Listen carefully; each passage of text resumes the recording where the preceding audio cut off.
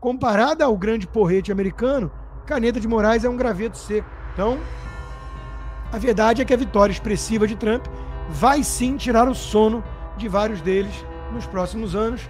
Vem sanção aí, vem ato McGinsky contra esses caras e vamos para cima. Olavo é do Carvalho, melhor canal de corte do YouTube. Opa, eu sei que você não aguenta mais ouvir. Eu pedi para você fazer o triplo C, curtir, comentar e compartilhar. Mas eu peço porque quatro entre cada dez pessoas sequer estão inscritas no canal e a maioria não ativa as notificações e nem curte o vídeo e isso prejudica o nosso algoritmo. Então ajuda a gente aí. Obrigadão. O que nós estamos vendo é isso aqui, gente. A sequência do clássico Star Wars. Em 2016 nós tivemos uma nova esperança, com Trump vencendo e prometendo drenar o pântano de Washington. Só que o sistema nunca fica parado. E vimos depois o Império contra-ataca. A coisa foi feia. Empicharam ele, perseguiram, indiciaram, tentaram matá-lo e ele voltou. Ele está de volta. É o retorno de Jedi, que é o título da minha coluna que está tá saindo hoje na revista Oeste, mas que os meus apoiadores do Locals já receberam na quarta-feira de manhã.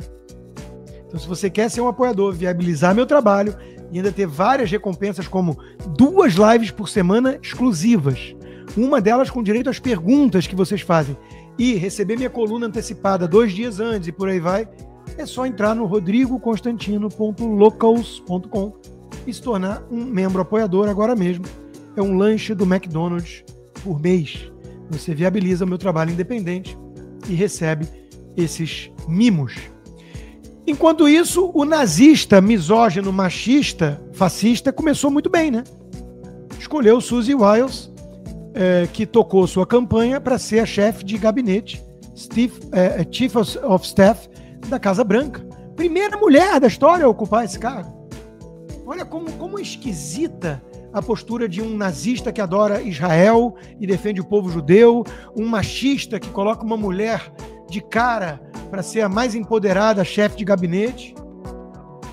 É impressionante, né? De novo, o abismo que existe entre a narrativa da esquerda e a realidade. O povo cansou disso. O resumo da ópera é: ele não é nazista, nós não somos lixo e vão se fuder. É mais ou menos isso. E vem chumbo grosso aí, como eu disse. O advogado Mike Davis, que é porreta, disse o seguinte: eu desafio você a continuar com esse ativismo judicial, com essa lawfare contra o Trump. Veja bem aqui, ô queridinho, você está mexendo com as pessoas erradas. E agora a coisa vai ficar esquisita pro lado de vocês. Eles declararam guerra ao establishment. Coisa vai ser interessante de acompanhar. E enquanto a América voltou ao domínio da águia, que quer alçar voos é, é, é, elevados e longínquos, o Brasil está com os voos de urubu, né, de galinha, baixinho, barulhento, e com os ratos no poder. Então, não é fácil, não é fácil a situação de um brasileiro hoje. Eu, mais do que ninguém, entendo. Estou há dois anos sem poder ir ao Brasil, perdendo coisas muito relevantes do ponto de vista de família para mim, mas eu não sou um cara de abaixar a cabeça nessas horas, sou um cara de arregaçar a manga e lutar. Eu sou feito de um material meio Elon Musk, meio Trump nessas horas. Vocês estão vendo, né? Não me chamem para uma treta, né? Eu quem me conhece pessoalmente sabe, eu dou um, eu dou um boi para não entrar na briga. Eu não gosto de briga. Mas se se um cara vem com gravatinha borboleta, querer conquistar uns alunozinhos novos isentões no cursinho dele, que é a nova é forma do ganha-pão dele. Lacrar pra cima de mim. Tipo, e os caras que saíram do Brasil? Eu não sou covarde. Conservador de verdade fica no país. É, tipo assim, ele tem certeza absoluta que nunca o Alexandre de Moraes vai colocá-lo no inquérito, confiscar o dinheiro dele, que ele ganha nos cursos, e é, cancelar o passaporte ou colocá-lo sob censura. Ele não corre esse perigo, que é a punição que eu sofro há dois anos. Porque pergunto o que ele acha do Xande. Não, veja bem, estou falando aqui de coisas mais profundas. Hum, sou um, conservador limpinho. Hum, eu e Armínio somos muito refinados. Gatinhos, gatinhos fofos. Não mexe comigo, que eu sei me defender. Só isso, eu sei me defender. Eu acredito e sempre acreditarei na legítima defesa como instrumento fundamental da vida, ainda mais do conservador. Vocês sabem como seriam as eleições no Brasil se funcionasse o colégio eleitoral? A conta O Gato, que eu recomendo todo mundo siga, né? E que está incomodado também com essa turma de ataque à, direita intergaláctica, né? da direita caçabista. Olha só, o Brasil estaria bem dividido, né? O Brasil está dividido. Lugares mais pobres, com mais ignorância, de um lado, e lugares mais prósperos e livres do outro. Hum? Enquanto isso, como é que estão as coisas no Brasil? Preço das carnes sobe 5,8 em um mês apenas, maior alta de desde 2020, né? Inflação já atinge quase 5% em 12 meses e essa é oficial do Mr. Pockman. Ninguém que vai ao supermercado toda semana acredita nessa inflação ridícula, né? É muito mais, mas mesmo assim, olha a trajetória. Olha o que está acontecendo. Não tem pandemia, não tem nada. Inflação se espalha pela economia, puxada por alimentos, câmbio, pressiona o Banco Central. A coisa não tá boa e não vai vir pacote de corte de gastos de 50 bilhões. Isso é sonho de uma noite de verão de Armínio Fraga e João Moedo, que fizeram L e estão, estão com medo agora. Agora, acreditou em chuva de picanha ou em salvar a democracia com o maior defensor de ditaduras do mundo, que é o Lula, merece mesmo quebrar a cara. A minha tristeza é que milhões e milhões de brasileiros decentes quebram juntos. Na verdade, não. Quebram muito mais. Porque o Armínio e o João Moedo são multimilionários e têm como se proteger. Né? Agora, por falar em chuva de picanha que não veio, é, em carne, vamos mudar o assunto então, sair um pouquinho da política, né? Porque sextou também, a gente tem direito de relaxar um pouquinho. Vamos falar de picanha então. Essa é a picanha que eu vou fazer no grill hoje, né? Para comemorar a vida, né? A vida eu vou fazer essa peça belíssima de picanha que eu comprei e vamos com tudo para cima. Agora sim, voltando a falar de política então, né? Ninguém acredita que vai vir corte de gasto. Pode ficar tranquilo, o, o sindicalista. Ameaçando sair da pasta se tiver corte na área dele. Ninguém acredita que vai ter corte para valer. É tudo enganação. O Lula já deu o tom. O mercado é um dinossauro voraz. É, corte de gasto é uma ova, gasto é vida. Ele já deu né, o, o, o, o tom.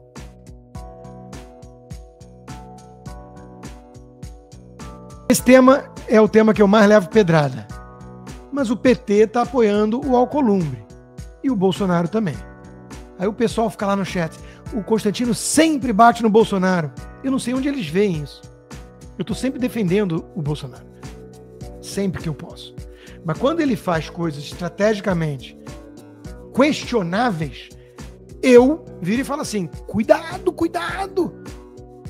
Apostar no pragmatismo excessivo e no diálogo com a direita caçabista é um caminho perigoso. Não foi o caminho que o Trump escolheu. E cá entre nós, eu acho sacanagem, sim. Ah, o Constantino defende o novo. Porra, quando o novo estava nas mãos do João Moedo, Olha o tanto que eu falava do João Moedo e do Novo. Agora, o Novo tem o Girão, o, Marçal, o, o Marcel, que defendem os brasileiros presos políticos. O Tarcísio não defende. O Marcel defende, o Girão defende. Então, eu quero saber de coerência, de quem veste essa camisa, porra. Essa camisa aqui é minha prioridade. Show, tirano. Essa é minha prioridade no Brasil hoje. Eu tô me balizando por isso. Não por xadrez 4D do mito 72 horas tic-tac. Então, Bolsonaro é um brasileiro patriota, genuíno, vítima do sistema, quer o melhor para o Brasil, é o líder inconteste da direita. Não existe conservadorismo organizado no Brasil, existe bolsonarismo. Estou de acordo com tudo isso.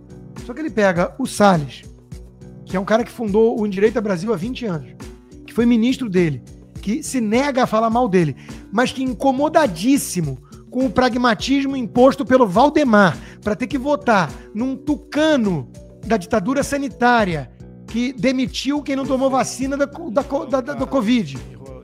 Vista, capital de Roraima. E ele virou e falou: Cara, dane-se, vou de Marçal. Dane-se. Um monte de gente fez isso. Isso não os torna traidores da pátria. O cavalo paraguaio tucano era muito ruim. O outro era um coach picareta, que depois foi levantar a bolinha para Boulos, está enterrado. Vem tentar falar em nome da direita de novo. Não vai conseguir. Dane-se o Marçal. Tem uma turma que só fala de Marçal. Dane-se o Marçal. Agora, virar e falar que o Salles está viúvo porque virou Marsalete e dar uma escrotizada desse jeito no, no Salles, um cara leal ao Jair Bolsonaro, não ao Ricardo Nunes, não ao Alcolumbre. O Nicolas Ferreira também não é leal ao Alcolumbre, está incomodadíssimo com isso e não é leal ao Nunes, também estava muito incomodado com isso. Mas o Nicolas Ferreira também vai entrar no hall dos traidores e vamos começar a detonar o Nicolas e o Salles e o Constantino, porque afinal de contas eles estão dividindo a direita. Como é que a gente une a direita? Chamando o Kassab e o Alcolumbre. Tá estranho isso. Tá estranho.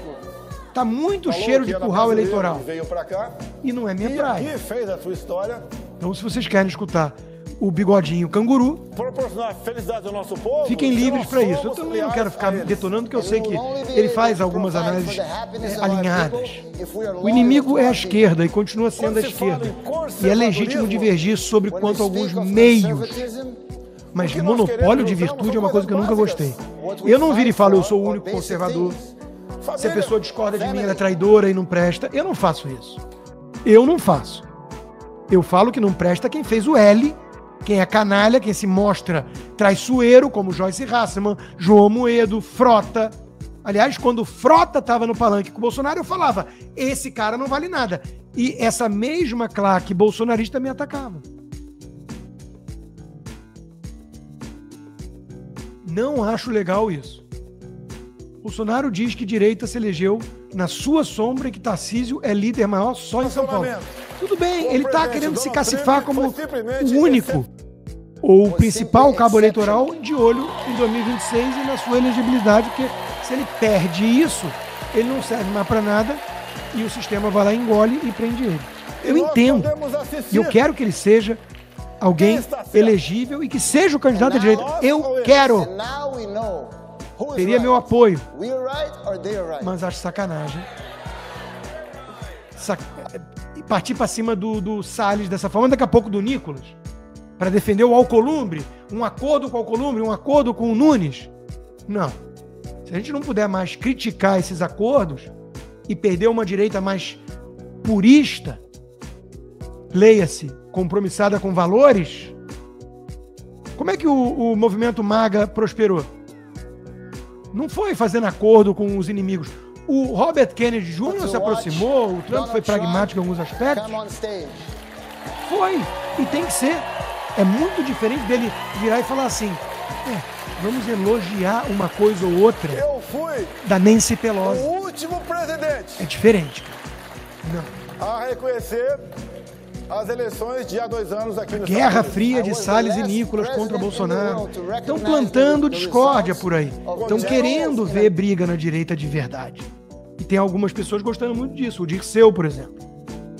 Eu não gosto. Agora, não venha me pedir para elogiar e ficar calado sempre com tudo que o Bolsonaro fizer junto com o Valdemar e o PL, porque não é o meu papel. O meu papel não é defensor do PL. Vocês entendem isso? É o defensor do Brasil, da direita, da coerência, dos valores. E o Brasil caminha rápido, a passos largos, rumo à Venezuela, Nicarágua. Padre José Eduardo, de quem eu gosto muito, teve que prestar depoimento à Polícia Federal. Não vão perseguir cristão, não. Imagina. E sobre o ativismo judicial, que é a última temática de hoje, né? Só quero elogiar a iniciativa dos meus amigos Léo Correia, do Novo, Hélio Beltrão, liberal, André Marsiglia, criaram a Lexum, tá? Que vai contra esse ativismo judicial. Saiu até na Folha, no painel. Parabéns a todos, precisamos muito disso. Afinal de contas, eles não param, né? A caneta redentora do Flávio Dino, até o Estadão condenando a censura do Flávio Dino comunista. Só que depois, se você fala de comunismo, ai que paranoico bobo. Se você fala do STF e do arbítrio, ah, querem uma vendeta contra o STF. Então o Estadão é meio esquizofrênico, né? E o Deltan, que essa ala bolsonarista fica empolvorosa quando fala do Deltan, ele compra briga com o STF, sim, porra. Comparada ao grande porrete americano, Caneta de Moraes é um graveto seco. Ele tem coragem de falar isso. Parabéns. Quanto mais gente falar contra o Moraes, melhor ou não? Ou é melhor a estratégia do Tarcísio e da direita caçabista? Não, vamos dialogar com o Moraes, porra. Eu acho que não. Então, a verdade é que a vitória expressiva de Trump vai sim tirar o sono de vários deles nos próximos anos. Vem sanção aí, vem ato McGinsky contra esses caras e vamos para cima. E clássico, sextou, vamos de clássico de rock, vamos de Scorpions. Eu às vezes provoco, às vezes eu sou combativo, mas quem me conhece na física sabe. Acima de tudo, eu sou agregador e amigo até de alguns esquerdinhos. Eu trato bem, eu sou respeitoso. Amigo, amigo não, porque é difícil ser amigo de um cara que faz o L, não. Tô falando de um esquerdinha intelectual, esquerda caviar. Mas nós todos estamos sob o mesmo sol. Under the same moon, under the same sun, Scorpions.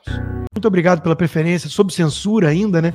Muito obrigado e peço encarecidamente que quem quiser apoiar o meu trabalho independente, que é cá entre nós o que eu mais gosto, sem demérito a todos os outros, e são vários empregadores, parceiros, mas esse é o que eu mais gosto de fazer.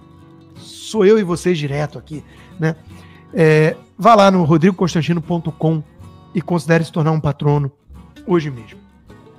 Inscreva-se também na minha comunidade do Locals, conteúdo disponível do que eu produzo está lá, mas de preferência para quem usa VPN para não ficar na intranet do Xandão. E, se possível, considere se tornar um membro apoiador. Você recebe como recompensa por viabilizar esse trabalho independente conteúdos exclusivos, como toda segunda-feira tivemos ontem já, conversa de boteco. Quartas-feiras temos o Cigar Bar, em que eu procuro responder as perguntas dos apoiadores. Então, vá lá no rodrigoconstantino.locals.com, inscreva-se, gratuito, e, se possível, torne-se um membro apoiador é, façam o tal do triplo C. Curta, comenta, porque a integração do chat ajuda muito, e compartilhe. Você pode fazer essas três coisas que ajudam o algoritmo a aparecer. Mas eu não estou brincando, não, pessoal. Dá uma paradinha agora de um segundo e clica no joinha. Porque às vezes sabe, ah, a pessoa já está acostumada a ouvir isso. Não, não, é importante que você faça isso. Porque se você não fizer, inclusive atrapalha o vídeo. Parece que o vídeo é menos relevante.